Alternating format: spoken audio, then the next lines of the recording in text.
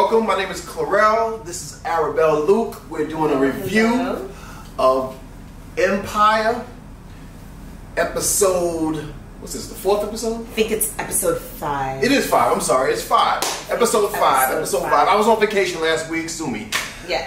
Yeah. and you know the reason why we're doing it, we're doing a, um, a review on this because you know we're artists. We're in the business. We produce. We sing. We do all that. You know, she she sings. She beatboxes. She does it all. You know what I mean? So, you know, we're in the business. So you know, we're doing a review to give you guys a hands-on, you know, description of it. You know, does this kind of thing, these kind of things happen in the music business, or is it you know, fabrication, or whatever? You know what I mean? So, uh, what what you what you think of this this particular episode? I loved it.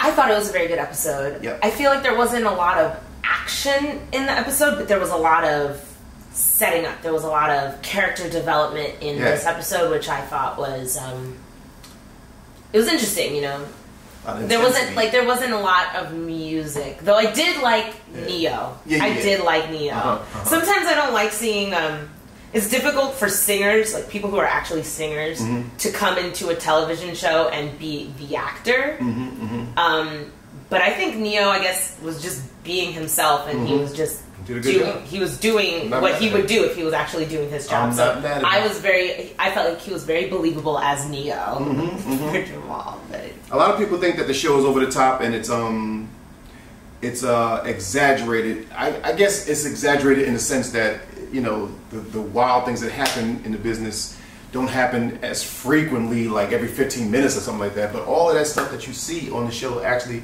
does happen. I've seen it all. I witnessed it all firsthand.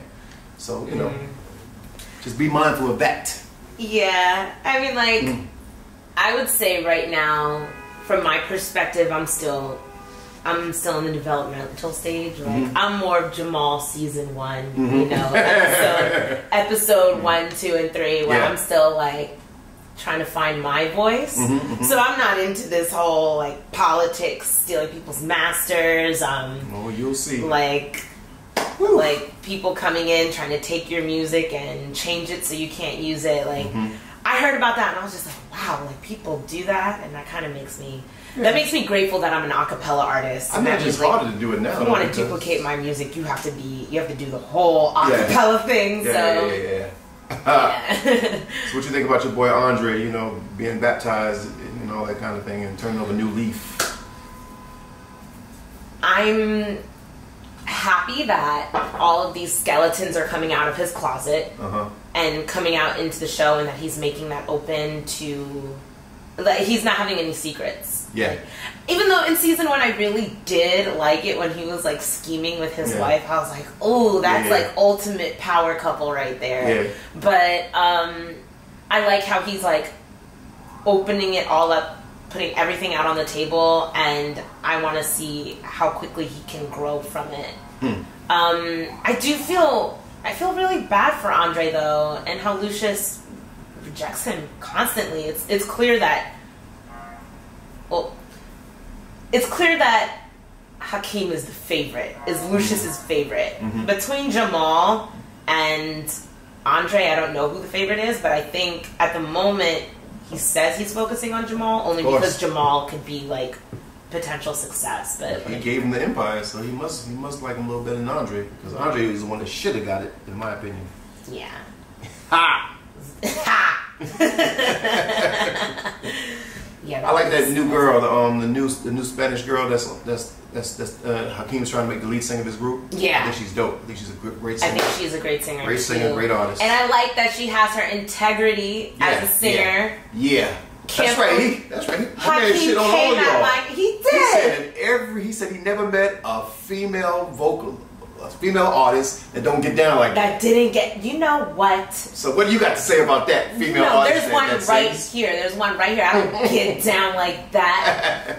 It's ridiculous. But have you ever ever ever been like right at the threshold of of, of a deal or, or, or a big opportunity where the mogul or, or, or producer had, was like you know holding your contract, your situation in one hand, and him and you messing with him in, in, in, in the other hand. Have you ever been in that kind of situation? I've never been in that kind of situation. Well- and I guess it wouldn't be right for me to say that I wouldn't act like that, Mm. but then when I imagine I would myself, imagine you wouldn't. yeah, and when I imagine myself in that situation and I think about what brings me to music and why I do music, I feel that if I were to go through with something like that, then I wouldn't know that my music could stand for itself. Yeah. I would be like, the only reason that this is happening to me is because I had a relationship with somebody else that mm-hmm. I kind of I weaseled my way in. Mm-hmm. I don't know if it's actually because my music and what I do is strong enough, and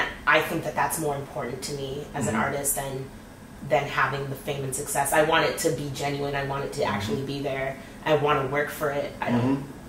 I don't want to take a shortcut. Yeah. I want to experience all of it. There you go. I, I hear you with that one. So yeah. So let me ask you a question. You've been watching um, Empire. Do you think that um, what goes on in Empire goes on in real life, as far as the business side of it? Like in music, real life, or like real Yeah. life everywhere. No, music. I do. music I feel like it's. I feel like it is accurate. Mm-hmm. Um, again, like I'm not experiencing music from that level, but Uh-huh. I can definitely see some of the players, some of going on with the you know the strip, stripper poles and oh All that that stuff. mega ratchet party. yeah, yeah, yeah. Oh, I like that. I mean, like everybody. I mean, like there's no harm in having a ratchet party every now and then. I guess. I mean, like you can have fun, I guess, mm. but But I'm saying my question in is, do you think that office happens? though, like in the office, Do you think that happens though?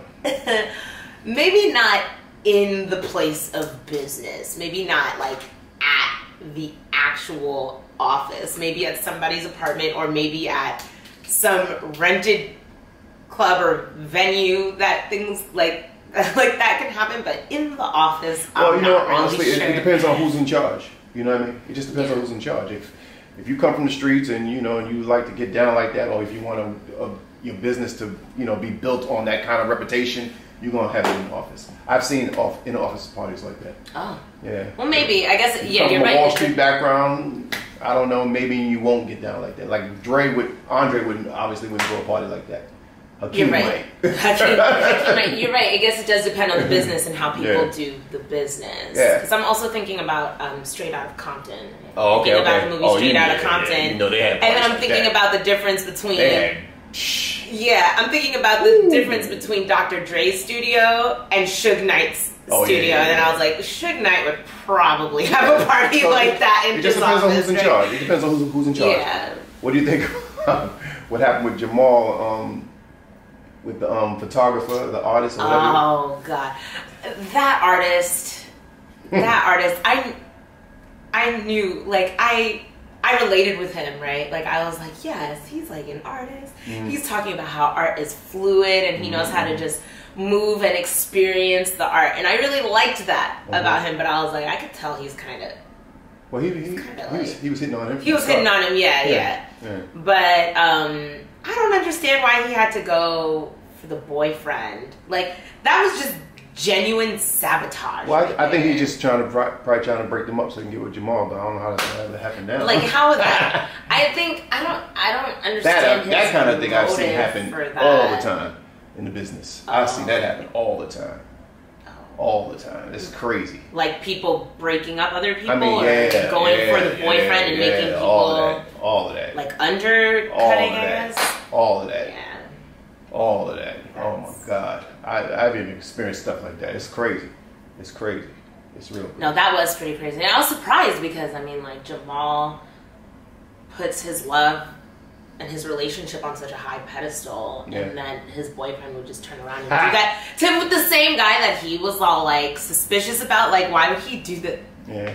Well, maybe Why he would he do that? Maybe his boyfriend was just trying to get back at him for the last situation he was dealing with. Who knows? I. Who knows? Seems like they should have communicated. We'll find out next week. I guess we'll find out next week. So I want you guys to definitely subscribe. You know, you can find her, Arabelle Luke, on Instagram. You know what I mean? I want you to subscribe to our channel. We'll be back next week with another review of Empire. I'll see you soon, okay?